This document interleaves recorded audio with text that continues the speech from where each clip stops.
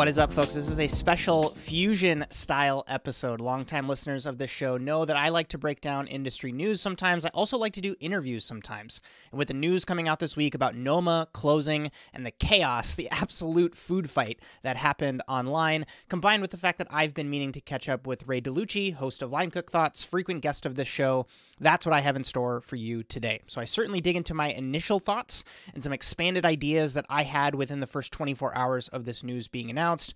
And shout out to Ray for just being a great peer in the space with me, agreeing to do a, this kind of jam style show. This is also going live on his podcast RSS feed. So if you subscribe to his show, you're probably going to get a little bit of a different intro, but I definitely recommend you check his episode out too. And thank you for you folks for messaging me, asking me for this episode to be made. But I would also like to share at the top of this show that this entire situation is evolving and growing. And it's also one of those like, we'll see kind of moments where I think a lot of other entrepreneurs and people, thought leaders, Mark Zuckerberg being like the other one in a different industry to ours, that's like taking a bit of a risk, putting his foot down in, in an interesting way. And it's not like anyone has lost. The, the, the, the clock is still going in this situation. If you want to have an expanded episode to this, and I would love to get your folks' thoughts either in an Instagram story, in a DM, on Twitter, via email, or even in an expanded conversation in the Repertoire Pro community. It's really been exciting to see the conversations that are happening and how that space is growing online. One insight that I really wanted to pause and, and preempt and, and read that really summarized my feelings better than I could even write them was from Chef Marc Vetri. Shout out to previous guest of the show, Andrew Friedman, who shared this on his story. And then I ultimately ended up taking a second to read it. And, and again, it's only got about 5,000 likes on Instagram right now, and I think it deserves more love. So before Ray and I get into it, here's what Marc Vetri wrote, read by me, also an optimist. So this is Marc now. Quote With the news of Noma closing, everyone has taken up sides again on the fate of the restaurant industry's fine dining establishments. So I felt it was important to say, as well as remind everyone, that the closing of Noma is most certainly not a referendum into the world of fine dining restaurants. On the contrary, it's clear proof that the industry is changing, adapting, and coming out stronger than ever. Noma is not saying it's closing because modern fine dining doesn't work, or that the modern fine dining model is unsustainable or fizzled, or any of the other headlines out there today. They're saying that they're closing because their system doesn't work anymore. I'm no expert on the goings on at Noma or the restaurants with similar style or dilemma, but saying all of fine dining doesn't work because one restaurant is closing is an affront to all of us who choose, still love, and thrive in this modern, post apocalyptic, COVID fine dining world. Our restaurants and culture haven't stopped changing and evolving in the past 25 years since we opened Vetri, and I imagine it will continue to evolve long after we are gone, always for the better. What Noma did was remarkable, and while it's sad that it's closing, I trust they will continue to do remarkable things in the future with all of their endeavors endeavors, and I'm certain they will adapt and keep creating amazing things to inspire the food world. In the meantime, rest assured that fine dining remains very sustainable, albeit more difficult than it used to be. We will continue to celebrate life with you, your most cherished moments, and we will continue to welcome you into our home and create dishes with an experience that inspires while maintaining a supportive environment for our teams so they can thrive, grow, and be successful in this amazing industry. So, again, I think that's enough preamble out of the way. I certainly dig into more thoughts in this conversation. If uh, the last point here, if you want to see the the expanded graphic that I shared with Ray in this conversation and, and just see how I'm thinking about some of these signaling mechanisms, you can go ahead and subscribe to the Repertoire newsletter, which is available in the show notes of this podcast. Let's get into it. Hey, quick question. Are you keeping your recipes in Docs still? Some sort of digital tool to keep track of all of your ideas? I know I've certainly amassed quite the collection across one too many platforms over the years. I've got three different notebooks, cloud based spreadsheets, task managers, stuff that I've covered in videos before in other podcasts. And if you've spent time in multiple restaurants yourself or even gotten inspired by cookbooks on your day off, you probably know what I mean. And if that's the case, you should try Meez. Over the next few weeks, I'll be using their absolutely free tier of their recipe organization software to start consolidating everything that I have. That's my entire catalog into this incredibly powerful recipe tool. It's designed by chefs for chefs. And after having Josh Sharkey, the founder, on this very podcast a few weeks back, I knew this product was legit. So, what Meez does is it transforms your recipe content into powerfully digital formats that let you organize, scale, train, and cost like never before. I want you to see why Meez is loved by over 12,000 culinary professionals and why it's what I chose to use for this organizational project. This was no small undertaking. I know your recipes are valuable. They could probably be smarter than how you've probably got them stored right now. Sign up for a free, that's right, free account at getmeez.com slash TRP. That's G-E-T-M-E-E-Z dot com forward slash TRP. TRP is for the repertoire podcast. If you're early on in your career, this is one of the most impactful investments you can make while you're learning. Don't get behind like I did. And if you've been in the business for a while now, there's a massive upside to having all of your recipes stored safely in Meez, having everything in one place. So why don't we get all of our recipes organized together? If you really want to keep yourself accountable to this, go ahead and share your progress with me on Instagram. Take some screenshots of how you're enjoying Meez, and I'll be sharing your success moments with other folks that want to get in on this challenge. Again, you can snag your free account today at getmeez.com slash TRP. And thanks again to Meez for sponsoring this episode. Let's just dig into it. So Ray's back on the show and I'm back on Ray's show. This is yes. this is a this is a double posting. One, it's good to see you, man. And I'm just happy happy to be recording again. Yeah, me too. Especially start 2023 right. So I think it's good.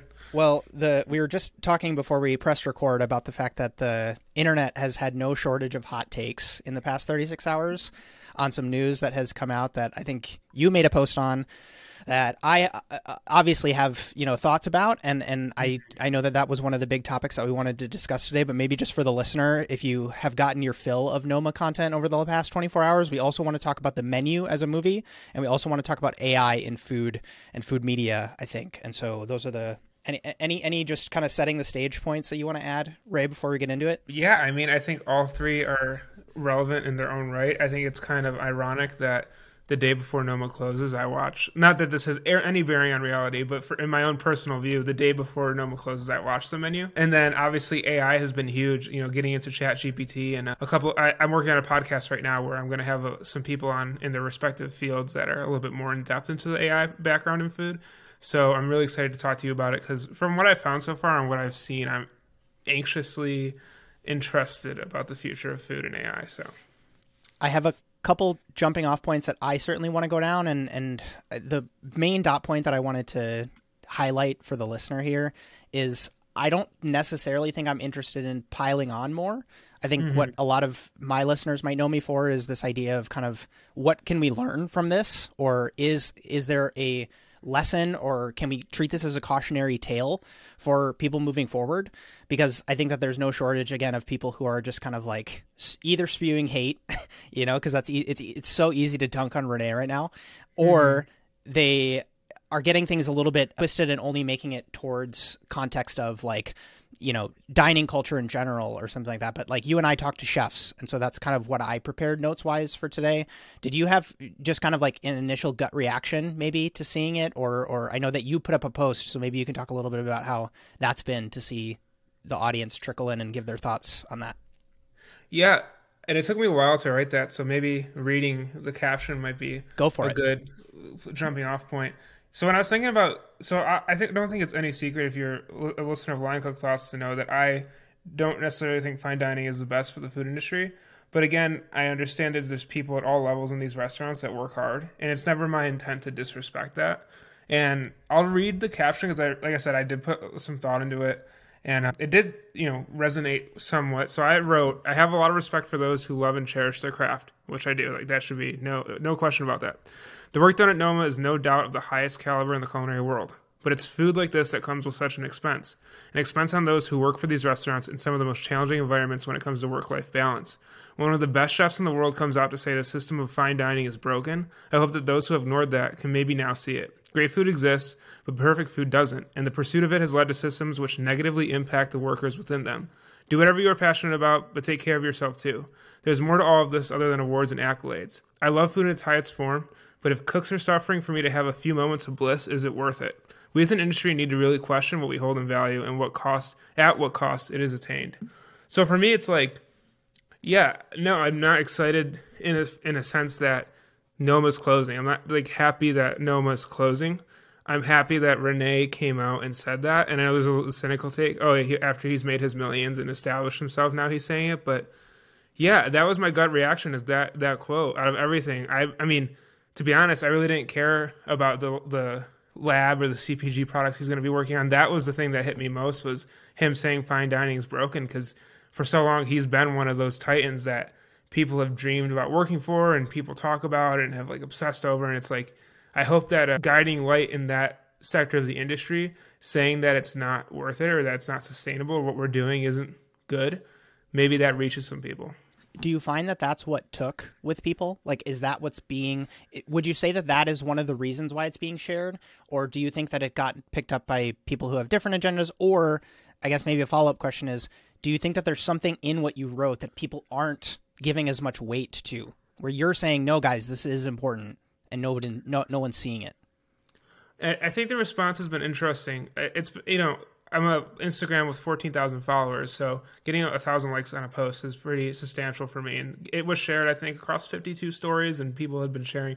Read the caption or like, you know, well, like this is what we should be saying or whatnot. I think for me, a lot of people agreed with the fact that yeah, like, and I re- made it very clear, like, there's no doubt that this is great food, and there's no doubt what they achieved is like amazing. It's like cutting edge, pushing food forward. And I think what resonated with people though, it's like at what cost, and at what cost is that to the end person? I think a lot of people have a lot of different feelings about it. And myself being two two years removed from the restaurant industry, I don't know that I have as much weight to judge what anyone's feeling right now, especially if they've worked through COVID. But for me, I think the big takeaway is that idea that for so long this industry's been so harsh and what we've idolized as the best is the harshest reality for most cooks and that there does need to be a change. I also, you know, think that it's interesting though that this isn't a new message and that it's been something that's been said for a while. And obviously, when Rene Redzepi says it, it's important, but that should be really it should have been really clear to everyone for the last, especially the last two years. So, but I think the biggest thing is like, yeah, an agreement that what they did was great, but was it worth it? Can I take you through a framework or you know, yeah, some writing that I did on this? I'm gonna quickly share my screen here for for for you to see, and then I'm gonna kind of walk the audience through, you know, because there's gonna be visual people that are watching, and then there's also gonna be, I'll put your post up on on my edit, and then I'll also put this up. I was thinking a lot about incentives and about signaling because mm-hmm. a lot of what motivates us as humans is one there's this whole concept of like mimetic desire. I see that ray has a podcast. I want a podcast now. It's mm-hmm. not necessarily that i inherently somewhere bubbled up in me as a human that i wanted a podcast. I saw that you had something and then i wanted it. And i was thinking about a lot of what you write about which is striving for accolades is the wrong way to go. And i certainly agree with that to an extent. But i was trying to continue to talk about it further after seeing everybody's hot takes on the internet. Yeah. And what I came up with was these six or seven areas.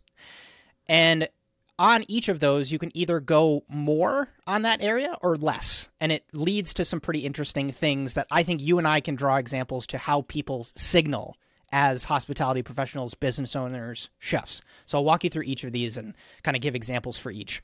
So the first category is recognition and awards. And so if we really kind of like push that more, it will be it might sound something like look how many Michelin stars I have. Look at the write up that I got in the New York Times. Look at where my ranking is on World's 50 Best. Mm-hmm. And then mm-hmm. if we subtract and we go the other way, it is I gave back my stars. I did have a place that was really, really nice, but I gave it away. And I don't actually care that much for recognition awards. Same category, different ends of the spectrum, and people still use it as a way to signal. So that was yeah. ex- category number one. The next one is profit profitability. If we push for more profit, people might say, look at how high our profit margins are. We ran a 30% profit last quarter. Look at how profitable we are. If we go less, it is our grocery brand does the profits. Us as a restaurant, we don't have to worry about profits. Our content machine makes makes money makes the money.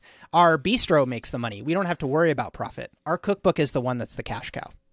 The next one is scale. So you might have people flex and say, look how big and operationally savvy we are on the on the higher end. And then if you want to decrease that, you can say, look how small and nimble we are. I remember there was a specific pop up that I worked with my chef that I worked for in Norway, where we had James Kent from Kitchen Table in the UK come. And they were the two chefs, my chef and James Kent, were flexing on each other because we would do 120 covers on a busy Saturday night, and their kitchen counter was only like 15 people or something like that.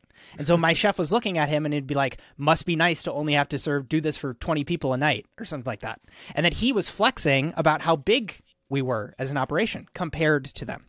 Mm-hmm. The next category is longevity. So one person might say, This company, this restaurant, this institution has been around for 30 years. We're celebrating our second decade in business. And then if you go on the other end, we're only here for two more weeks. That's what you notice Noma talking about, where it's like, we have this pop up and we're only going to be around for this short amount of time. You better come here quick. But it's, again, talking about longevity, one category, two ways to flex on it. And the next one is innovation. Look at this product you've never seen before. That's on the higher end. If we if we boost innovation, that's where you get. And then if you decrease innovation, we do the basics right. This is like the diner that that that has the same menu that they've had for ages and ages and ages, and they don't actually they aren't known for innovation, but they still use it to flex. Mm-hmm. And the hmm. last piece is accessibility. So this is the franchise. This is the place where again it's been, probably been around for a long time, and it's everybody who wants a table gets one.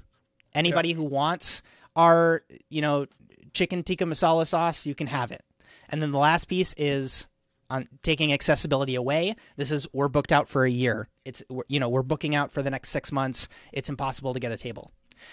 And so, talking not just the audience but you through this, this is the first. I, I kind of put this together, you know, within the last 24 hours, and I was really just trying to think of what are categories, what have I heard in the last you know 12 years that I've been in this industry, and how can we look beyond what everybody's talking about with Rene, which is everybody picked one of these to kind of like pinpoint on him.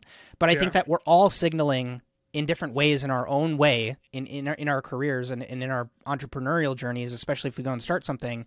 And I'd be curious, like, if you think any of this has a has been a contributor to what we're seeing with Noma. Yeah, I mean, I think you know, I, I found it interesting in and I think I see it actually down if you scroll a little bit. Yeah, yeah. I had this thought. So this is they're closing in 2024. Yep. The next, however many like year, a year and a half, two years that they're open, they can charge whatever they want to diners. It's the end of Noma. Get it while it's hot. Get it while it's here. It's gonna be gone soon. They can like do whatever they want. They could like like the floodgates are open. So I mean there's part of me that's like happy he said that, but then there's also the cynical side of me that's like, well, he's signaling that they're closing, and now this is not a an already precious, if you were to say, resource, and I'm doing quotes, in the culinary world is now about to be extinct. There's not going to be any more left of it. How much are you willing to pay? So this went from elitist levels of dining to I I don't know maybe and I'm just saying maybe he keeps his prices. I highly doubt it if he was in I'm not supporting this, but if he was a smart businessman, he would raise them to the highest degree. Like it goes from elitist to like maybe the the half of the percent of people can afford this menu. I have no idea, but it's going to be insane. I think how much money he'll get because there's still so many people that love his cuisine. I mean, so for me, that was the biggest signal. Was like, what? Well, what are you doing in the next two years? Like, you that's a great message you have but what do you are you going to raise your wages along with raising your like what's going to happen in the next two years to close out noma i think the price raise is totally justified especially because now everybody has seen i mean think about the the, the person in covid the, the restaurant operator in covid who posts on instagram or sends out an email newsletter who says hey everyone we're going to have to close in three months if we don't raise our prices mm-hmm. there were mm-hmm. multiple businesses in seattle that i got emails from in that vein where they were like, we need to raise our prices because XYZ. This guy just had like one of the biggest exposes in the New York Times talking about the fact that he can't continue to operate at the prices that he has set. And so I think from a justification perspective, he's going to be totally fine to raise the price. What mm-hmm. I kind of wrote in my notes here just below this is like, is that going to coincide with the continued payment through the internship program for people going from stagiaires to being interns. That was, you know, one question. The second question was maybe they just say that the food is just going to change entirely. We can't have a team of 15 people shingling rose petals anymore. Or the, that story that they told in the New York Times article about the, the black garlic fruit leather beetle thing. Yeah, I'm just I, am I'm, I'm fascinated. So so that was that was my topic. I have one more, but I want to. Yeah, I want to I want to I want to hand it over. I want to talk on that because you you've said this before, uh, especially during COVID. You came out and said how like some business business restaurants were operating in a spot where they should, where realistically they shouldn't be. And this is my whole take. This is the whole like my personal reason why I didn't get into fine dining. What I went to New York and I went to Chicago and I staged and I got a couple of offers and some one Michelin star restaurants, one two star to become a cook, like a garde cook, and they were going to pay me fourteen dollars an hour and with student loans and not ha- and being on my own in terms of like financial support, having to make my own money to pay my bills and all that, I couldn't go work for them. Michelin wasn't an option for me. It wasn't an option to go for me at that time. That being said, if we're at a point now where and that's due to like like other like expenses for myself. Everyone obviously is different, but for me personally, I couldn't go. And I know a lot of people who get priced out of, especially New York. If the restaurant and if the restaurant so many look up to the restaurant the best restaurant in the world the best restaurant in the world according to san pellegrino the three michelin star restaurant according to michelin can't operate in a financially sound way then what like it doesn't make sense why anyone would go down that path to me. Like this shows me it doesn't make sense. Like i left that because it didn't make sense for me in personal finances. We have the best in the world and not able to do it with all their backing and all their awards. And I know in the article it said he hasn't become wealthy off this but like the whatever you're spending your money on dude you have you have backing. Like it's you're not it's not you're not a mom and pop restaurant you're Noma. So like for me it's just like that's the biggest takeaway for me personally is like no I wasn't crazy when I was interested in Michelin because of the financial reasons. I wasn't crazy for doing other things because in the end of the day they can't hack it now. So that's my takeaway and that like financial aspect. I did some interesting digging when the article came out from Bloomberg a couple weeks back on the $250,000, it was technically $240,000 loss that Noma reported. This was a couple months, a couple weeks back. Hmm. And if you look on their website, they have their team fully listed out from what I'm going to say is like the people who are on the payroll listed on the website. And at the time of us doing the research, there was 16 admin positions listed on the website.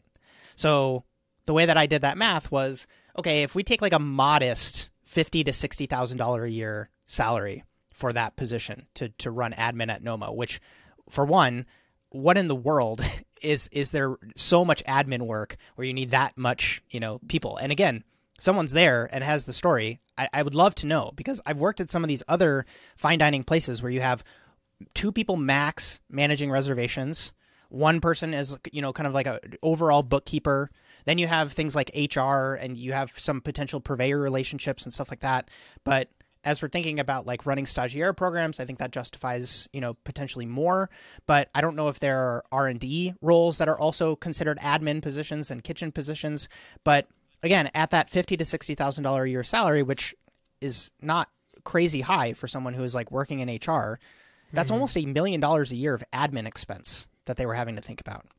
Yeah. And so, again, everybody's talking about these individual dot points of this loss here and, and profitability there. But I think until e- any of us would see the P&L of the business, we wouldn't be able to dissect, oh, this is exactly the thing that caused it to, to all unravel. Yeah, and I mean, how much is a dinner at Noma, or how much? So it's five. It's five hundred for the menu, and then I'm almost positive there's wine on top of that. Think and about so, that.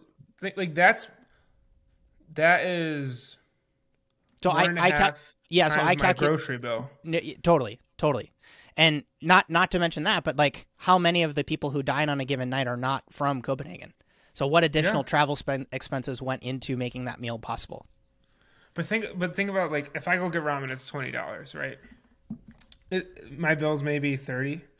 So let's just do very quick napkin math. So if I were to go get ramen seventeen times, in a month. That's how much one Noma meal, the, just the food is, not including tip or anything else, right? So imagine charging that per person and still not being able to financially, like that's insane, and it just blows my mind. It what, does. What, what I think causes a lot of chefs' brains to break is like, especially if you've run a culinary program before or been responsible for food cost, it's mm-hmm. very easy to map those numbers of you know take whatever you spent on the menu multiply it by five and that's a 20% food cost that you're running it and is. to, yeah. to, to do that math either in reverse or d- regardless of how you break it down, it's like the the the cost is is coming off of that top line in, in other ways that we're just not able to to see in these reports that are happening. Whether it's again admin costs, whether the building itself they're still pay, paying off renovation, you know, costs from from from that move that they had. Again, if they're floating the R and D team with the revenue that's coming in from from Noma, it's it's it's really difficult to say. And for me, I think a big thing in 2023 that I really want to touch on in, in regards to personal finance on the podcast is exactly this. Like this idea that money doesn't matter when you're passionate about something. And so you're wanting to get away from that. Yes. Okay. Like me too. The idea that this that people put themselves through such financial hardship some people to go work for an awarded restaurant when they can't afford it and it it uh, impacts their future it impacts their ability to live comfortably later on in life it impacts their ability to like they neglect their health typically neglect your, yeah all these things like it's like no you have to have assessments where like your pa- like you can't just do it you can't just go for passion like real life comes in if you're not caring for yourself real life hits hard later on so like and it's not like a like like i said before do what you're passionate about but you need to take care of yourself and like so many i think have been put into this like idea with Michelin and all them. And this is the only reason I don't like fine dining. It's like so many people get put in like get some people go into it willingly, some people I think get kind of pressured into it or they feel like if they don't do it they like I remember I had that like reality of like oh I'm leaving this path am I a sellout? It's like no, you need to take care of yourself. And so like when you see an operator like this saying he can't hack it with the money and everything like he could charge whatever he wants. And he can't do it. Like that's not to say that restaurants can't work. There's a lot of great, successful, financially fluid restaurants, but this style isn't sustainable. And like, I just hope people realize that it's not just the restaurant; it's the being at the restaurant isn't sustainable, and trying to go for that isn't sustainable for everyone. I think that's a perfect segue talking about finance and money and raising money and having longevity in business. I pulled a couple of books off my shelf. I have like books here, and then I have a bookshelf in the closet just over here. I just moved, and I had to donate so many. It was oh, sad. Sad. Rip. Yeah. That's sad. Mm-hmm. And I distinctly remember going through what I'm going to call like two seasons in my book buying journey. Okay. And the first one was Cookbook Mania. So this was get all of the Phaidon books, the $50, $40, you know, large coffee table, beautiful photography, recipes yep. that you would like kind of look at but never really make. You know, you would transcribe a couple of things into your Moleskine notebook phase. And then I also went through this phase of getting books that that that are like this. So this is like the Lean Startup. This is Rework by the team that built Basecamp. This is Built to Last by Jim Collins. There are mm. a bunch, and, and this also came with listening to founder interviews, podcasts, YouTube channels on entrepreneurship and making money and growth hacking and all of that, those sorts of things, because I could see the writing on the wall that having a standalone restaurant concept wasn't going to work. And so what I really tried to do was try to learn from some of these entrepreneurship people because I could acknowledge as just read one single startup book and mirror it to a chef or a mm-hmm. hospitality professional and you'll be like, yeah, chefs are totally entrepreneurs. And so why do we continue to hold the chef title when we have officially moved from cooking on the day to day to running a business on the day to day? And the cleanest example that I can have is from a book that I certainly took a lot away from. It's called The E Myth Revisited. Ray, have you ever read that? I've not. So oh, it's it's a it's a book about delegation basically and building structured systems into your businesses. And the author you couldn't have picked a better example of this.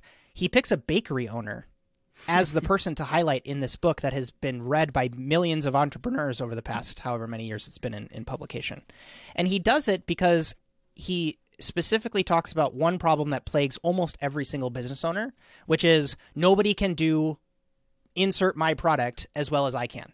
And with this bakery owner, it is no one can make the pies as well as I can. Therefore, I can't hire anybody, I can't put in systems, I can't delegate anything out, and I can't focus on growing the business because I'm always the one making the pies. And then he goes on this big rant about how to potentially solve that with some really helpful frameworks.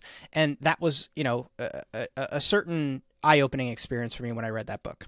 But my dot point of, of a note that I wanted to bring up in conversation with you is is are we potentially moving to a place where restaurants and hospitality concepts, whether that's like a hotel concept or we've we've both of us have kind of been paying attention to the like the Gary V Flyfish Club NFT concept. Mm-hmm. Will these businesses start to operate more like startups if they want to be innovative, creative, wanting to grow or bring something crazy new to market? And the example that I wanted to talk you through is this idea of getting investment at the beginning and operating at a loss in service of non financial goals. So think about the early days of Uber. The 1st mm-hmm. time you and I probably booked an Uber, it was what, $4? And we were like, Cheap. holy crap. Like, that's it? You know, like yeah. this is a $15 cab and you're giving to me to me for $4. But what was that in service of? That was in service of getting users. That was in service of finding product market fit. All of these things that startups talk about. But yeah. restaurants don't pull on that because I think that there is this sole focus on, well, we're just going to be like the bistro down the street. When in reality, it's like you're operating at a completely different set of goals and targets. And it's mm-hmm. not to say that like I don't consider Noma a restaurant, but the goals of Noma and the goals of the one Michelin star place in Chicago are two very different goals. And mm-hmm. they have different resources available to them and there's all of that stuff. And so a main dot point in, in addition to that framework of should restaurants operate more like startups is if that becomes true, Rene now becomes founder of Noma. And yeah. they talk about it in the New York Times article. He's chief creative officer of the project versus the chef. And then yeah. what does that allow you to do? That allows you to highlight other team members along the way as you're building the business. In the same way that like Sheryl gets highlighted just as much as Mark Zuckerberg when we're talking about Meta. Yeah. So I'd be curious your your thoughts there on this idea of restaurants operating as startups more as we go forward. I think yeah, I think it's interesting and trying to just kind of think about because I hadn't thought about that before. So you're definitely correct in the startup capital aspect, and like let's run this for a year, and that goal being and having clear defined goals of getting more getting obviously more and more customers come to the door putting out great product that tastes good having repeat customers. I think the challenge in a restaurant compared to other maybe startup products is the repeat value right? What uber values on is you coming back to it again and again you know if uber you know they might lose money on the first few rides you make but after 10 rides they're they're going to start to profit off of you, right? So uh, you have to wonder.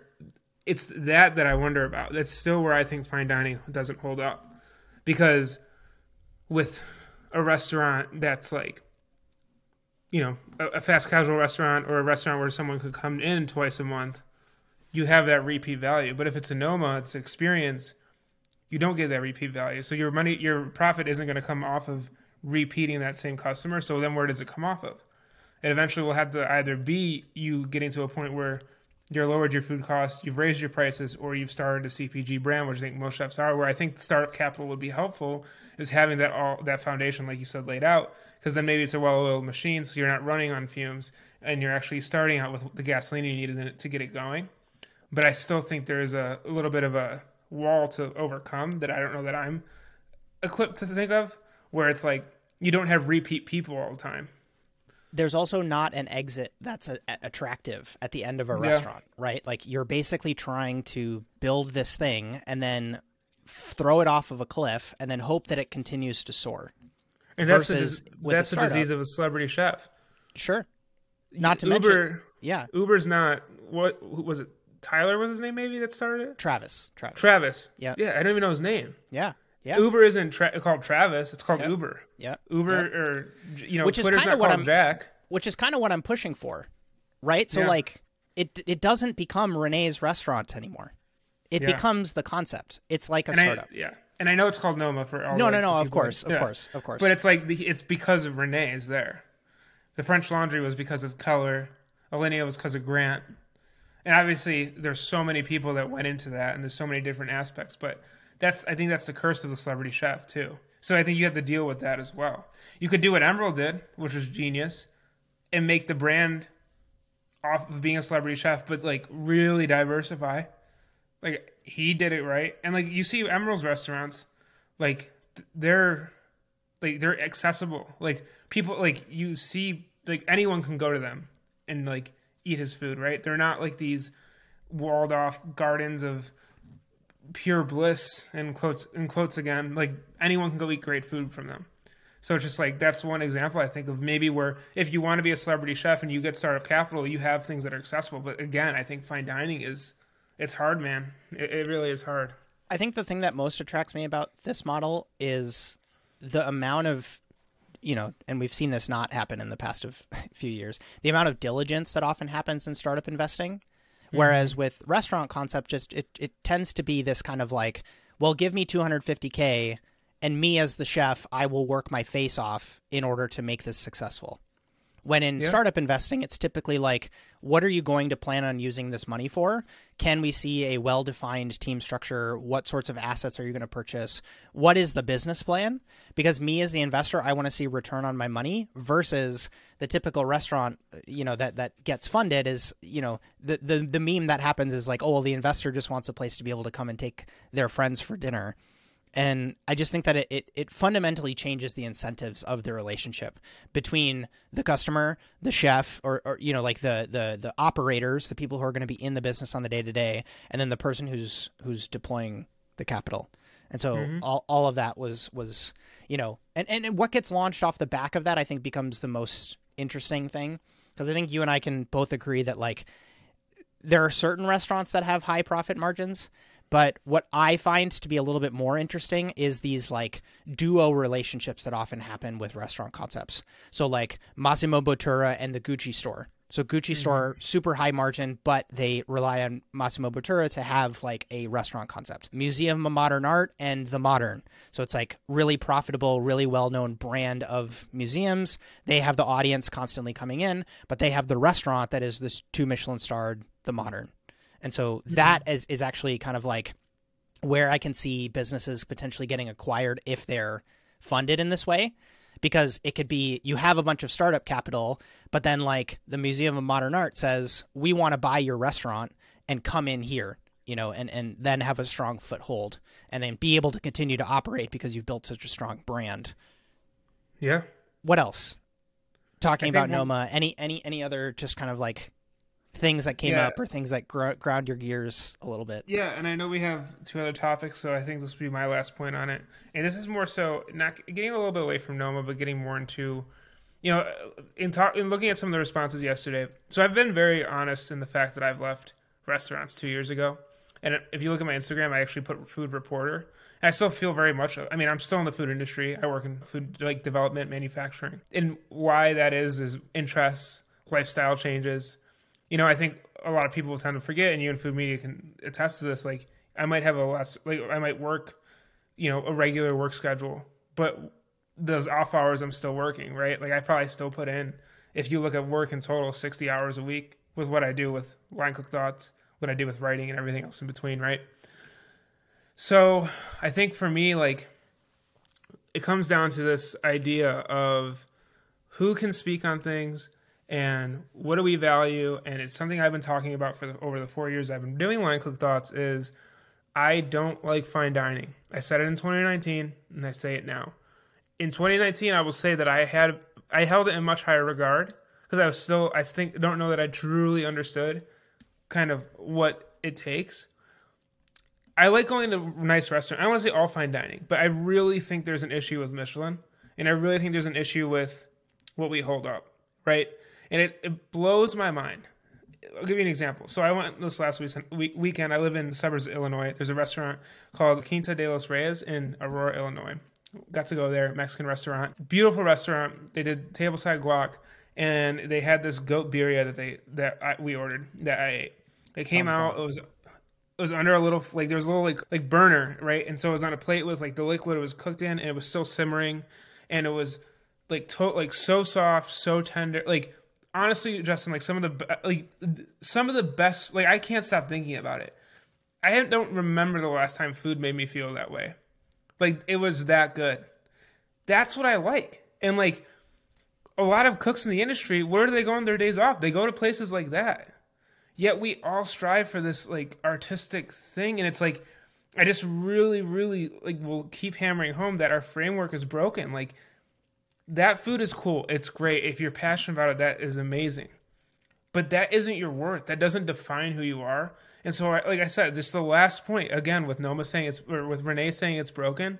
Like, I really think we have to start questioning how we define worth in the culinary, in, in the food industry. Is it that you work seventy hours a week? Isn't that is that you've staged and worked at Michelin star places, or is it that you have a healthy lifestyle and you're doing what you're doing?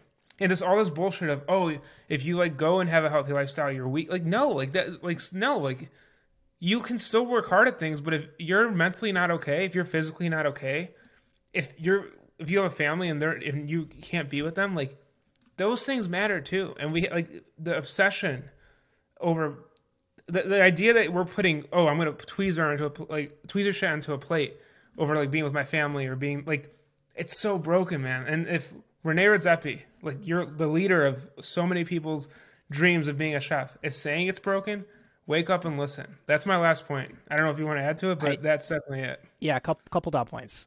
So the thing that I wrote on Rene specifically, the sentence that I that helps me think about this is Rene and this story in general is the story of someone who has an arguably unhealthy love of food and cuisine, who experienced runaway success with a project at the right place at the right time, and doesn't have the skills or character traits to ask for help. That's how I kind of view this. Okay. And on that point, I think, as an optimist myself, and looking at, pardon the pun, the ingredients that are available to us, the mm-hmm. creator mm-hmm. economy, content, pop ups becoming more well known and well regarded than ever. I hope that you and I, Ray, can talk in 10 years and we'll say, remember in like the 2010s when everybody was like going for Michelin stars, in the same way that people talk about the dot com bubble happening, mm-hmm. when everybody was like, the most important thing in the world is to have a website. And everybody was like these crazy valuations and people working themselves to death, and like the tech tools were not what where they were, and that ultimately led to kind of like Silicon Valley happening, you know. So maybe we can look at you know like the modernist cuisine leading into New Nordic as that same transition, and then what comes after, I think is what I'm more interested in because I'll, I'll paint a picture for you, a world where maybe Michelin isn't the de facto authority, but there are multiple ways to get recognized because I still think signaling is important. That framework I mm-hmm. outlined earlier, I don't think that we as humans will ever unlearn, at least not in our generation or time as as as our current version of humans will unlearn signaling. I think it always is going to matter. It's kind of like where where does the recognition of those signals come from? And is there more variety that's coming off of those signals versus it all coming from this one centralized place which is Michelin and it only going to, towards one type of restaurant and cuisine. And that's ultimately what I what I what I hope we kind of get to. And the last point that I wanted to mention because I I kind of put out a lot of content about staging, and there was certainly a, a clip from or a, a section from the New York Times article about a woman who had a stage at Noma. It was a externship, internship, and she talked about making those fruit leather beetles. You should read the New York Times article if you want the full clip. But she says, quote, the experience taught her to be quick, quiet, and organized, but little about cooking.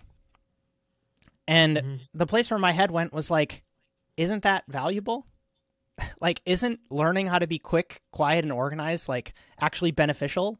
In you know, depending on where you're at in your career, I think a lot of people take that away from Michelin environments. And again, it's not to say that like everything else that went along with that is good, but the place where I tried to challenge myself in thinking about this was like flip it to any other industry.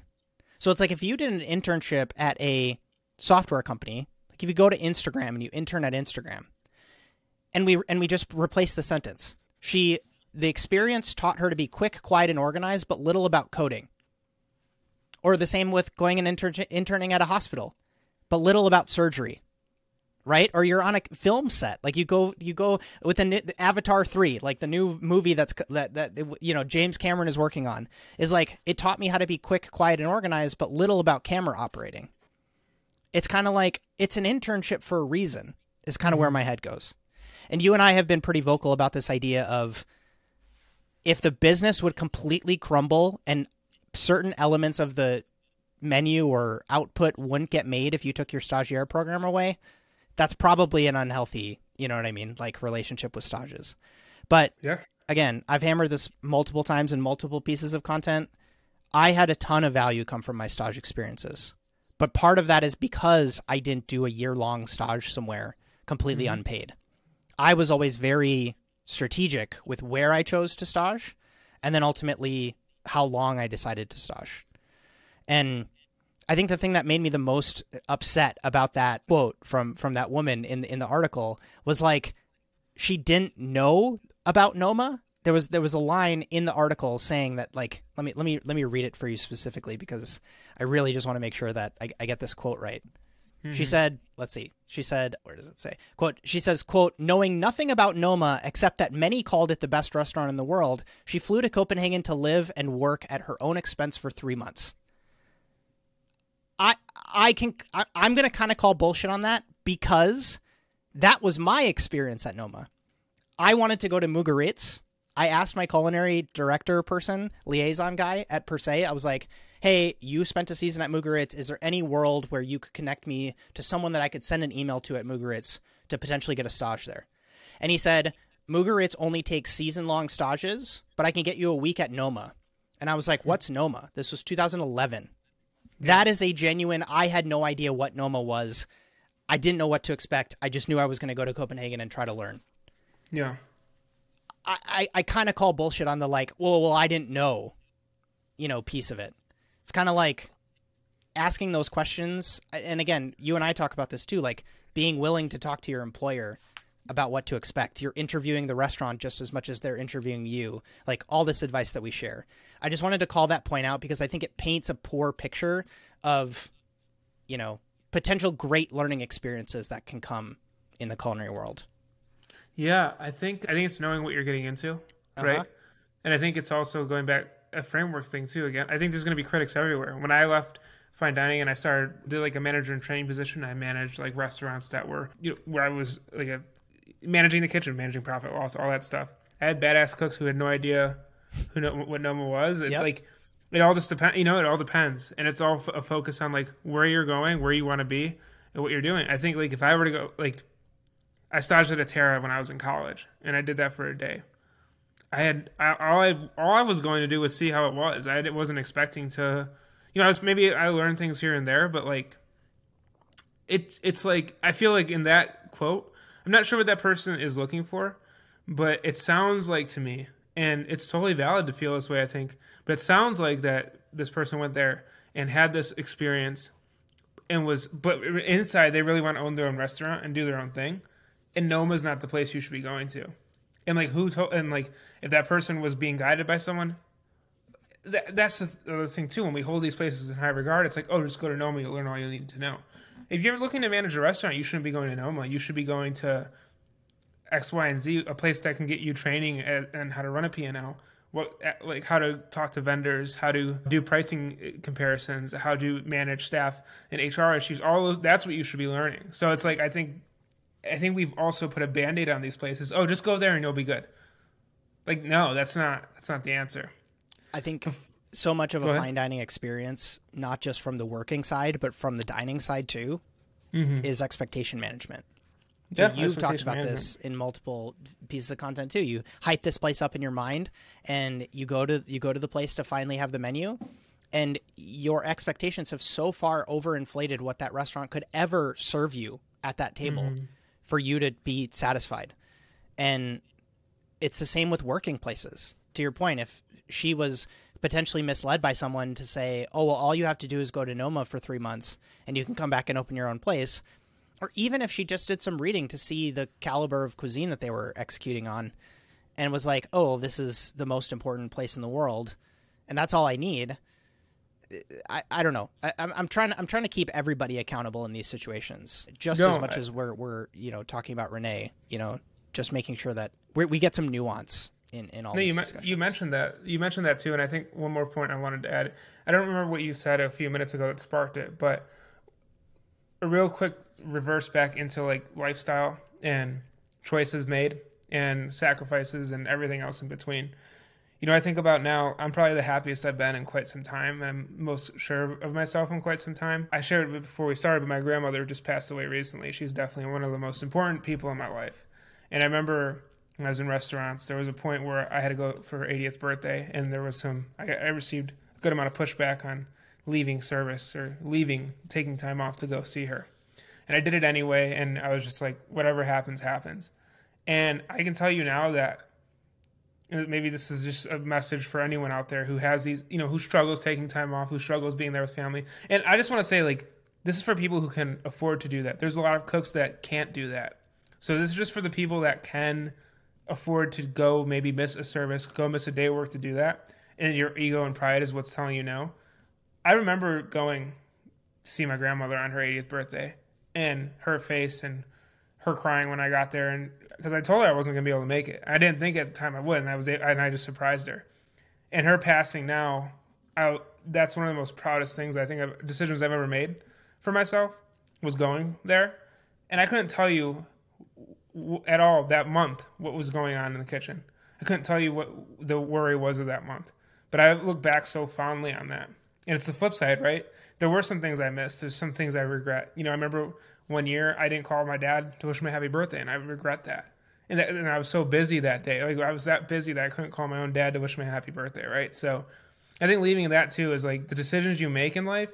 Like f- you can fo- put all your focus in food, but all that shit comes back, and all that shit matters. And so like I just really like want to stress that too is like those decisions have impacts on your life, and you have a life worth thinking about and going over and mulling over. So when you make decisions to go to Noma and you make decisions to stage and you make decisions of, oh, I'm just going to sacrifice these things, like the sacrifice comes back in some way. And so when you look back, what are you going to be more proud of? Like being in service that night or being there for your family or your friends or whatever it means for you to go do that thing, going to that concert that you've wanted to see since you were five years old. And now service is on a Saturday night. Well, like, what are you going to do? So, and taking that time away, I can only imagine there was nothing monumental that you missed at work. There was no, nothing no. where you're just like got right back, and guess what? They needed me to be back there the next day, and they if I they actually did need me to be there. So it's like yeah, like you're needed too. So like yeah, it's just make those make smart decisions, make smart decisions for yourself, and I think that's the big. I think for me the biggest sin of restaurants and dining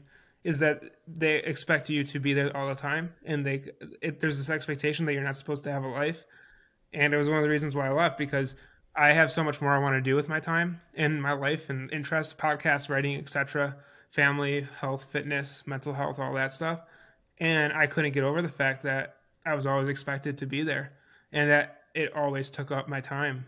And my time is valuable and there's so many things that I value. And I think there's some operators who do it right. I don't I don't think it's like all restaurants are bad, but especially in fine dining, you're expected to just give your life away for however long you're there and like that's bullshit in my opinion. Agree. Agree. So the menu. Yeah, let's. we go let's from pivot. something serious to a dark comedy horror thriller on HBO Max. So let's talk about expectations. What were your expectations of the movie? Did you did you get anything spoiled, or did you did you read no, anything? I I've been excited since day one since seeing the trailers of the menu. I love Ralph Fiennes. I love Anya Taylor Joy. Nicholas Hoult is a great actor. The whole cast was pretty great. But no, I, I found it interesting that we were going to go. My wor- I had a worry and I want to say that I love this movie, but I had a worry that we were going to start in food and then go into like island horror. Like I wanted it to all stay in the restaurant, which it did, and I was so surprised when it did because I thought they were going to get to the restaurant, then like the first act was going to be food, and then we were going to go off into like slasher like oh we're all stuck in like this island and they're coming back like we're getting picked off one by one in the woods no it all stayed around dining and so my expectations were met and exceeded but my first gut reaction was like oh it's going to start with food but then it's going to travel into something completely different. So, should we give a disclaimer that we're going to cover spoilers? Are you fine to cover spoilers? Yeah. Okay. Yeah. So this, so this is your disclaimer. Well, maybe so. maybe first, like if you don't want it spoiled, I would give this movie a. I would suggest you see it, and I really enjoyed it. Before we go into spoilers, any words yeah. like that before? Yeah, I also heavily enjoyed it. I thought it was incredibly entertaining, and I, I definitely recommend everybody who is even remotely interested in food, dining, chef culture. Again, what Ray and I just touched on, which is the last, I'll call it like 20 years of how restaurants have kind of like eh, risen in popularity and then either closed or declined or you know opened up multiple locations, I think it's it's worth your time. So, I thought the same. I thought that it was going to devolve into like Saw slash, you know, like super gory, whatever. And it's not like there's no gore in the movie, but I I went in with as little expectations as possible, and I even had a friend send me the script to the movie, and I decided not to to read it. It's a friend who works oh. in Hollywood, based in LA, and was like, "Hey, thought this would be interesting." whatever and i chose to specifically not read it because i wanted to have be ple- as pleasantly surprised as possible and man it was such a fun ride of a movie because of that lack of expectation from me. Mm-hmm. and so again if you want that same experience and you have no idea what we're talking about just pause now. Go go go watch go come back. And I think the biggest point that that I geeked out about, I would argue more than any single person in the theater, and I did see it in the theater, was how many chefs they referenced and how many restaurant concepts and cuisine types that they touched on. And for me, it was just being able to like look at them giving an Arpège egg to the guy in the hen house, and I was just Yep. like, "Oh my god, this is hilarious!" And the the Dominique, I think it was the scallop presentation was was based off of of hers, and the first snack on the boat being like, I heard people saying it was kind of like oysters and pearls, when in reality, like that dish is very different and it's not quite the same as that. But I kind of got where they were coming from. Some stuff on Francis Mallmann, the list goes on. The that I thought was like the coolest.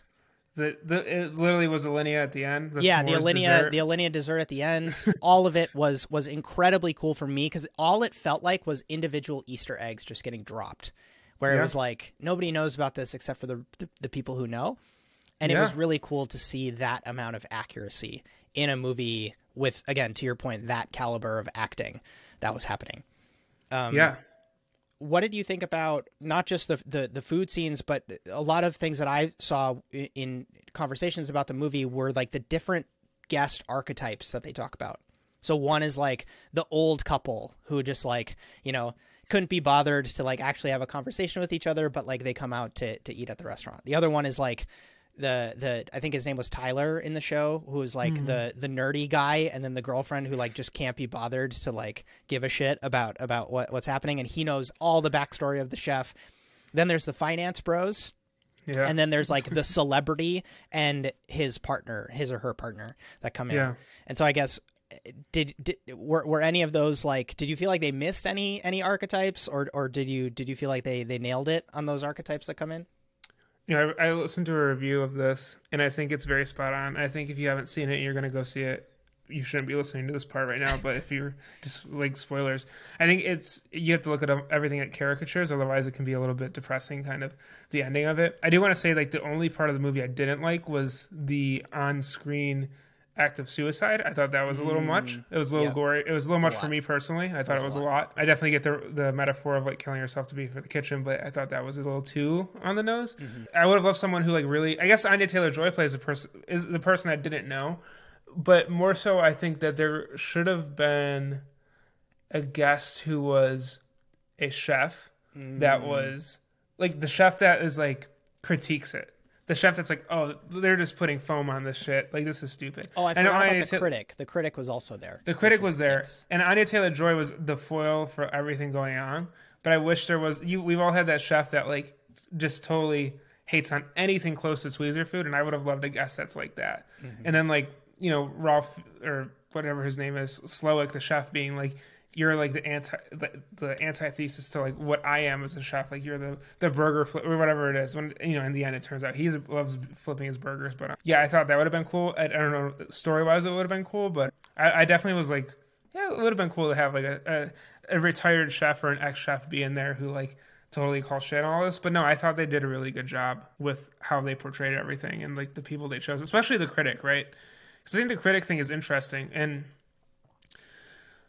man, like the powers of critics and the power of me- food media, like yeah, you can make or break things, you can like do whatever you want, and it's like. You know, we, we see it. I mean, Michelin Guide is a criticism, San Pellegrino is criticism, and it's like, what are all the like? Those are all human beings. What are their perceptions? How do they do their framework? So yeah, I, I thought it was really interesting. it sure. also shows how weird of a job that is to be a food mm-hmm. critic. Like, mm-hmm. I consider myself to be a weirdo of the fact that like I record my meals when I go out to places and I like edit it and do a voiceover of it. But that's for my own personal enjoyment, and I can't even like if I if you told me that I had to edit three of those a week, I think I would be you know it, it would it would change me fundamentally as a human. Like it's yeah. a very strange position to be in to crit- critique food for a living at least for me like my personality type just doesn't resonate with with having that be like my full-time thing i love yeah. doing it as a hobby and i think that that's like one of the biggest points that the movie touched on is when these restaurants become like an obsession not just mm-hmm. for the mm-hmm. guest but for the chef i think the the point that that i kind of thought was a really interesting tidbit was the mom sitting mm. in the dining room just like getting shit faced and the fact that he would like come over and just like gently acknowledge her but then allow her to just continue to be depressed i think that that was a really interesting metaphor for like neglecting your family and like them you know like supporting you from the sidelines quote unquote when in reality all they're doing is like looking upon what you're doing not really being all that interested but like I never get to see this person or spend time yeah. quality time with them. I thought that was a, a, a, fascinating like whether I'm misinterpreting that metaphor or not. That's how I that's how I looked at that moment. I, I really saw a lot of myself in Tyler when I was in culinary school. I think Tyler is like the ultimate CIA kid 100%. on steroids. Just like totally like enamored with these things when in reality it's like not that serious. I just love that so much because uh, I've been there. I was that I mean, maybe not obviously not that extreme, but like I was that that like oh like Bergamot or all these different things and like he did this and that. And it's like bro, like you sound so like, you need to chill out. Like you can't do you can't even do that type of stuff. Asking really, him to cook was a great moment. Oh my gosh, the him cooking. I think that's you know I think it's I hope when like common viewers like like or you know the general audience like sees it like they kind of can realize that you know obviously Yelp and all that has taken over like restaurants and whatnot. But that was such a good scene because he's like, and it's such a good scene because you you see and you know this is where I'll talk about fine dining in a positive light. You see how much thought goes into it. It's obvious, right? You can't just co- come up with it on the fly. So for him to have leeks, shallots, butter, and then like undercooked lamb, like it was just, it was so perfect. And how they chef tabled his dish, it was like Tyler's bullshit as his dish. It was just like it was so funny for me. Incredible. Has there been, was has there been anything that you've seen with the movie where you've you've you've seen a take or you've seen someone someone mention something or, or highlight something that you, you either disagreed with or, or do you think wasn't highlighted enough? I'll kind of ask that question again in the context of the Noma thing. And for my mm-hmm. listeners specifically, I will be doing a video series on the menu because I'm one, that's been one of the highly most highly requested videos after my breakdown of the bear. And eh, aside from the movie Boiling Point, that's another popular one. But yeah, I'm curious. I'm curious, Ray, if you if you saw anything where you're like, people were talking about this and I didn't necessarily think that this was accurate or people aren't giving this enough attention. Before we get into that, I do want to say my favorite reason that he chose to, have a guest there for their demise was the actor because he spent his day off to go see a movie and it was shit. I thought that was so like if anyone in the food world has like I remember like when I was working 2019 I think I had 3 days off during the summer and like I just I get that like obviously not to the point where you want to kill someone, but it's like you know, you your time is so precious in those moments that you go and do something else and it, it isn't as great as or it, it isn't what you needed it to be and you feel so disappointed. I thought that was so freaking hilarious. I mean, I think overarching themes obviously like the like I watched this with someone that isn't in the food world and it is cult like how I mean we go back to Noma how cooks are and like like you see it online like it, there is not I don't know about maybe I don't know some people that level of intensity, but it is like that where like you just like like the crazy look of like oh I'm there and like I'm doing it and not for everyone, but like there is like honestly like I, when I see people working at these restaurants, I don't see that, but I see like the defenders or the people that want to get there but they can't get there are also like that where it's like it is very cultish in that space, right? Of like whatever Rene says is like golden. I see it online. There's so many people just like, oh, this is a beautiful, like genius move by Rene and all this stuff. So I definitely see that. I definitely see the undervaluement of what a chef does, and I definitely see the inflation of prices. I really my favorite takeaway was the inflationary prices and how a lot of this food has become untouchable for most of the general population. I think that was a big thing for me. Like real like this is what we hold up and like m- most people can't afford to go dine there. So I think those are like the main takeaways I had from it. My thing that I am taking away from the menu being characterized in the way that it has this Noma situation, David Kinch closing Manresa, Mm-hmm. all of it happening and swirling all at the same time is kind of this idea of like, have we seen where like the ceiling is? From the sense of we will now use this as the water line where we can kind of say that's what running at 135% looks like. Yeah. And in reality, like there is a, a point where you can be at 100% underneath where we're at now. And now that we've all seen where this goes, if we continue to to your all the dot points you mentioned, that's that that leads us to a really negative place.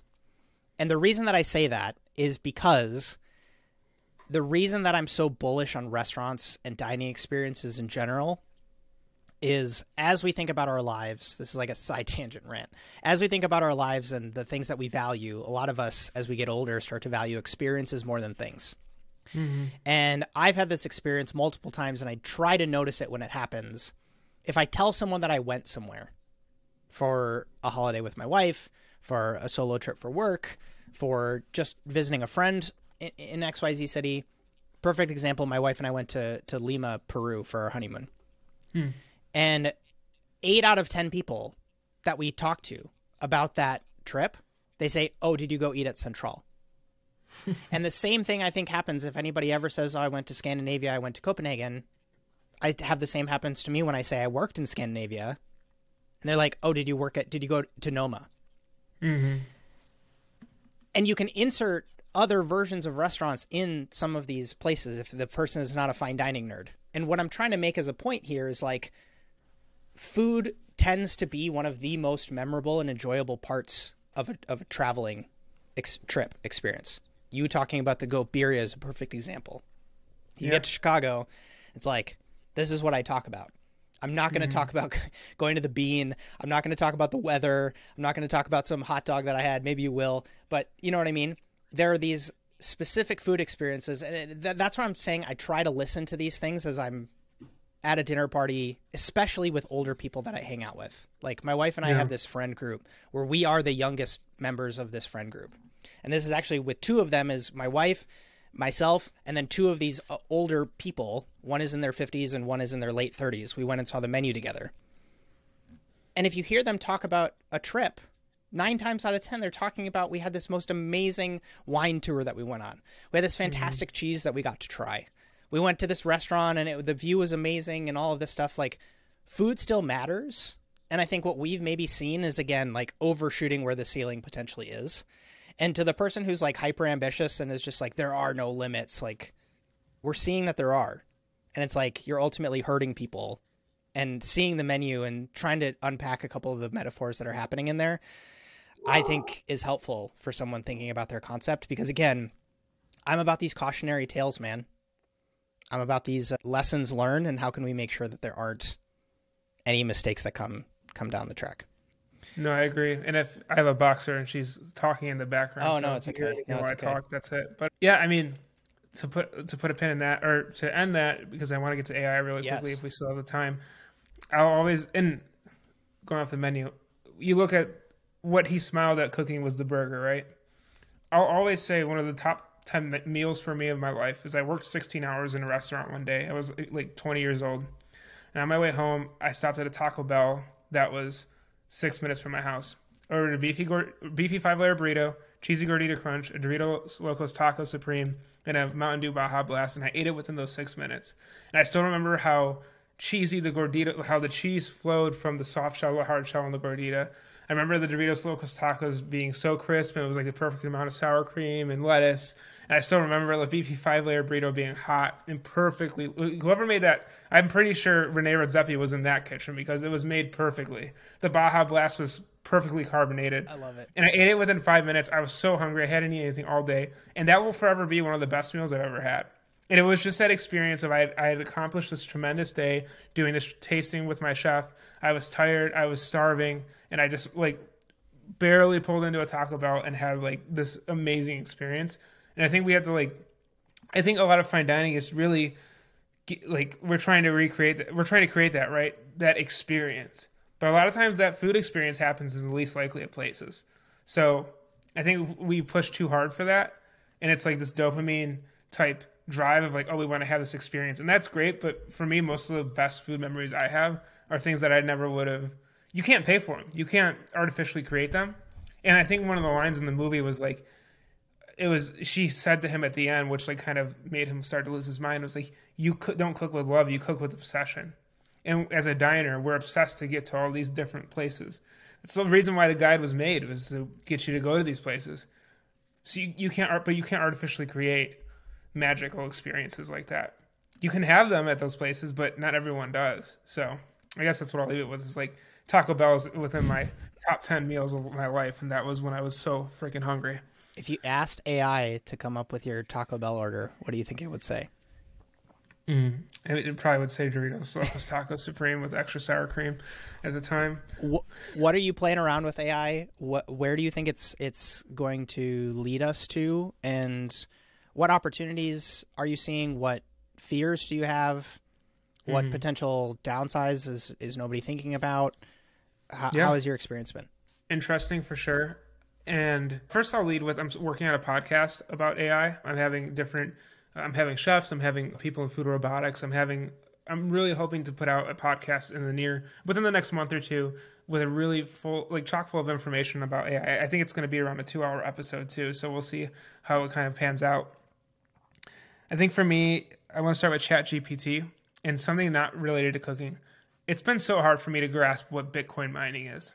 It's been so hard for me to under like what I understand Bitcoin, I understand the blockchain, what is Bitcoin? Like, what do you mean mining? And I've Googled it and I've gotten lost in these rabbit holes. So I put into Chat GPT, which is this AI system by OpenAI, which like is incredible. If you haven't used it, you definitely should. And I was like, explain to me Bitcoin mining like I'm a fifth grader. And it went through and explained why mine like the math problems that need to be done in order to work through Bitcoin transactions.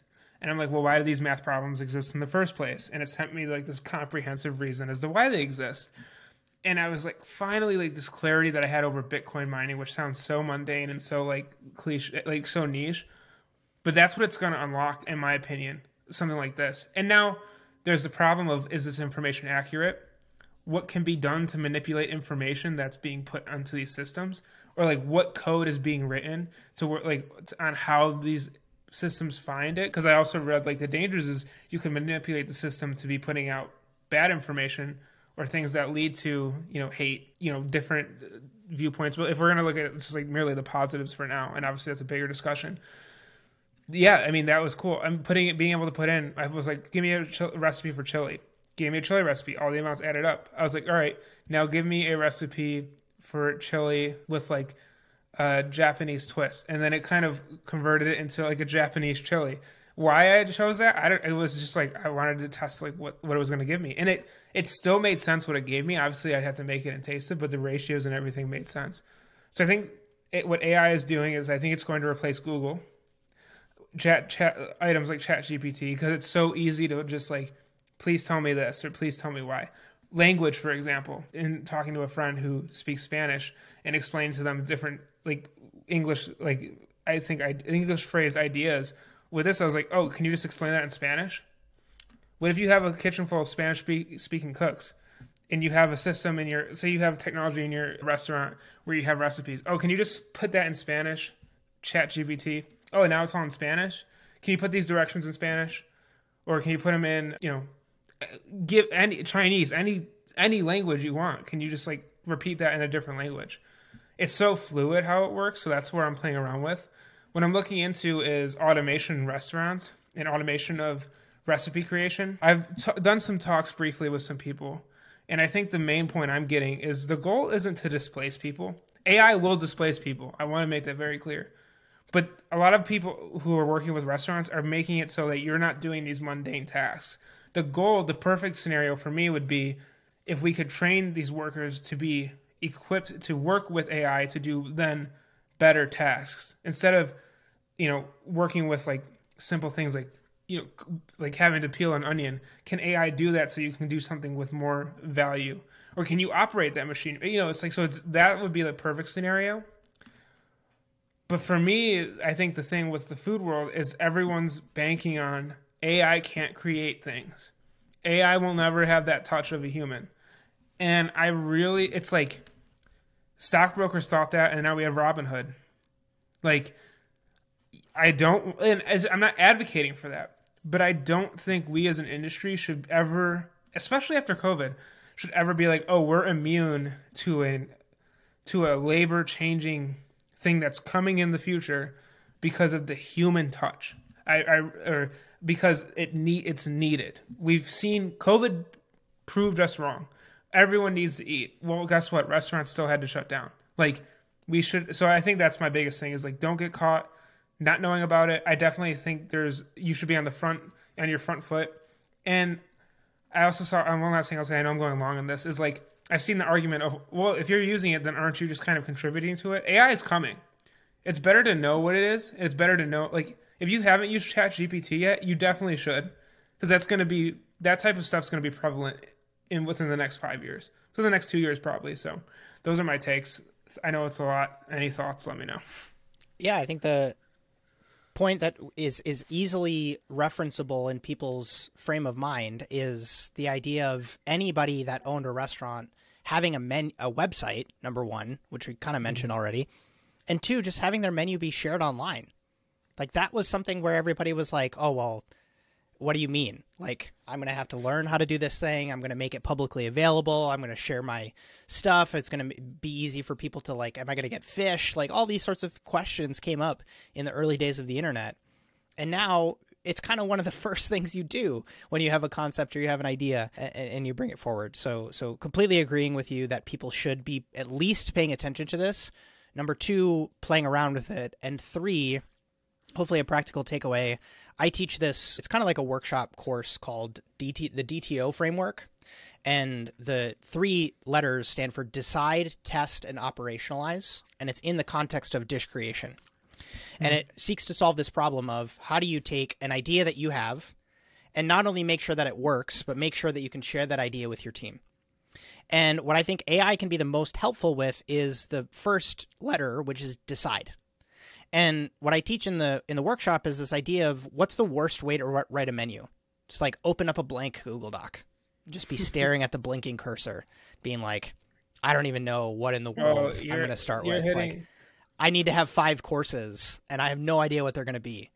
And to be able to go to ChatGPT and say something like, "Can you do a riff on my last menu?" and then have that present you 10 courses and then you use this first letter in my acronym, which is just decide. I don't want to mm-hmm. do lamb. I want to do pork now. I don't want to do cabbage. I want to do kohlrabi. I don't want to have it be a caviar sauce. I want it to be a black truffle sauce. And then all of those things we are uniquely positioned to do because they ultimately put us more in line with being human, which is our, our best selves. Second point that I noticed as I was playing around with it is in relation to menu writing – is I have this kind of idea uh, uh, that's top of mind. It's not it's not fleshed out enough to to, to really be a, a, a thing, and so I won't share that much about it. But I basically asked ChatGPT to like come up with a concept, come up with a menu in this style, and it just pulled on stuff that I know already exists. And mm-hmm. I have mm-hmm. it in my head that this is going to be like a restaurant concept that I launched in my 40s. I've really kind of changed my tone on talking about how that how I talk about that in, in on the channel, and I was just like, oh, there still is you know kind of like a level of dumbness to to these programs where it's just it's it's not that smart. It's very well, good at aggregation. It's very good at summarization. It's very good at again going from zero to one with the context that might already be available on the internet. Yeah, but I'm I'm I'm pretty in agreement with you. Best explanation for it right now is with Chat Chat GPT. It's not smart. Like it's not like a smart thing. What it's doing is like you said, it's aggregating. It's pulling words off the internet. That's all it's doing. It's just doing it in a very efficient, quick, and very detailed way because of the systems it's running on. So, like you said, it can pull anything you need.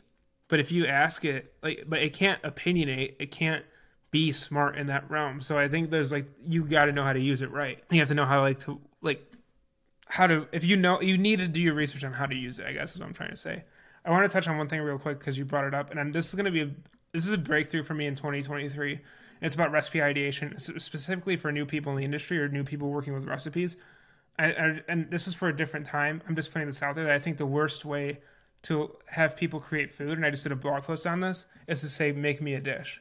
I think saying make me and I put the example in my blog post, make me a pasta dish with chicken breast in the style of in the style of Tuscan cooking is the best way to get a dish that is creative but has some framework. Adding that framework to creativity I think is super important. We can talk about that later, but I agree with you on what you said. No, there's a website called Prompt Hunt, P R O M P T H U N T dot com, and it is in service of what you just said. How can you yeah. give the best prompts to to ChatGPT or any sort of like Midjourney or DALL-E or any of these aggregators, AI platforms, because that ultimately becomes the game. It's like how can you be a better user of AI than everybody else in order to yeah. be a human, an AI empowered human. The the last point that kind of rounds all this out and kind of brings it all together in my head is this idea of there's maybe like a spectrum or two charts, and you might have two restaurant concepts. One is zero humans in it, which is very mm-hmm. real. And there's maybe someone who drops off the ingredients. We're getting to a place where that might not even need to happen anymore. And us as humans can go to this place and literally get hot prepared food or get it delivered to our to our door. No humans required. Then there's like 50%, which is like we use AI to be better chefs. And then there's what I am making a prediction on is in the future we will potentially have a restaurant that is 100% human run. We don't use any sort of artificial intelligence or automation or anything. And what I like about that is like it actually gives a place for the people who are so invested in projects like Noma to go. Because mm-hmm. that's what ultimately like also is it's not like a loser in the situation, but there are genuine people who are so widely interested in committing their time and their energy towards a project like Noma's level of execution. And it's like, I don't think those people are going away or those motivations are changing. Like I get the DMs, you probably get the DMs too. Like I'm so interested in going to like 11 Madison Park and just getting my ass kicked. And to have, you know, there might be fewer of them, but to have a 100% human run restaurant in a in in a you know where because the supply and demand changes, they could charge a lot. That might actually be like a really beneficial situation for everybody. Yeah. I think the last point I'll make, I'm worried about displacement. Like mm. when I, when I, like I say, when I'm doing this AI research, it's not like I'm in, like me personally, I wish I could, we could stop it right now. I feel like it's at a point where it's like it's going to start to displace and it's going to be very hard, difficult. And I don't know who is. It could affect me. It could affect you. Could affect anyone. I think the biggest danger, though, and what you kind of touched on is, with aggregation, is you look at movies right now. You went to go see the menu in theaters. I'm waiting for things to hit streaming, and you see that people are waiting for things to hit streaming. When we get to a point with AI, there's going to be a point in restaurants and AI where someone's going to be like, "Surprise me," or they're going to say, "Give me the cheeseburger from the menu," and a chef will never be able to keep up with that level of aggregation it's going to get to the point, I believe, where you're going to be able to literally order whatever you want. Give me sushi. You know what? Never mind. Actually, can you actually give me a In-N-Out style cheeseburger with animal fries? And it's going to be able to do that. And so I really just warn, like, like the next the next 50 years of chefs are going to be having to adapt to that, and it's it's freaking scary. And it's like, what the hell is going to happen? But I think that's where it's going to go. So it's always fun jamming with you, my friend, on some of these ideas. Yeah, I same mean, with you. If if both of our audiences end up liking this, maybe this can be something that we turn into some sort of a, a, a series. I don't have a co-host currently, down. and I think that you know this makes you, I think, the most frequent guest on on the podcast. And so it's the uh, same for you. Yeah, cool, cool. Always, always happy to jam. I, I hope to visit you in Chicago soon. If you're ever out in Seattle, please, please don't hesitate to to come say hey. Trip Anything you want to leave the leave the readers with? You have a new newsletter. Please, please pimp the newsletter out. Yeah, uh, just go to linecookthoughts.com, prep list items every Monday. I put out just a newsletter with three bullet, three to four bullet points on things I find interesting. So it could be stats from the NRA, the National Restaurant Association. Be careful which NRA I say. National Restaurant Association. It could be tools I like. It could be new blog posts I put out, or just stuff I find interesting on the internet. I've shared a lot of different articles recently, and then quotes. I like, I'm a big quote guy. So go to linecookthoughts.com. You can just put it yourself into the newsletter, and then obviously if you want to shout out what you're doing. And I think TikTok is a cool or your video where people can find the upcoming video content. Maybe yeah, YouTube's the best place. Just my name and and and and on YouTube. The other thing that th- this audience might find useful is I have a five day kitchen productivity challenge, which is just kind of some tips and tactics that helped me a lot when I was working the line. And if that would ever be of, of use, we'll just put it in the show notes and it's in the description for folks. It's completely free. It's just it's like 40 minutes of video content that I just send to people just in service of being able to help. And I have a newsletter too, and and YouTube's kind of the best place to to find all that stuff. So.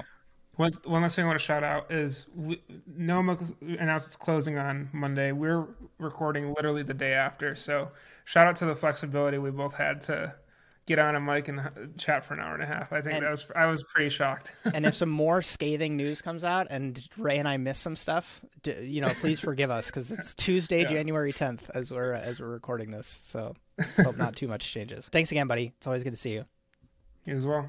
Well, well, here we are together again at the end of another episode of the Repertoire Podcast. If this is your first time listening, this is a show for hospitality creators who want to think better, increase their performance, and believe that it's possible to take lessons from what others have already learned. I am your host, Justin Khanna, and if you're new here, I'd like to personally welcome you to the show. I hope you enjoyed this episode. Friendly heads up to check out the show notes inside of the description of this podcast if you want to check out previous guests, links to specifics that got brought up in this episode, as well as other helpful content that we create and share here online because everything we do is focused on helping you along your journey. If you don't have a ton of time, the best place to start is with some value sent straight to your inbox every single week. It's called the Repertoire Newsletter, where we share knowledge on sharpening your skills, asymmetric upside, and exploring the industry beyond the status quo. If you subscribe, we'll keep you up to date on trends that are shaping the hospitality creator ecosystem. We'll share discounts on gear that we find, as well as content that we've been producing ourselves and helpful articles that we've already read and decided are worth your time. Last up, if you want to connect with other industry professionals in the Repertoire Pro community, you want to check out courses like Total Station Domination or download free tools that we've created,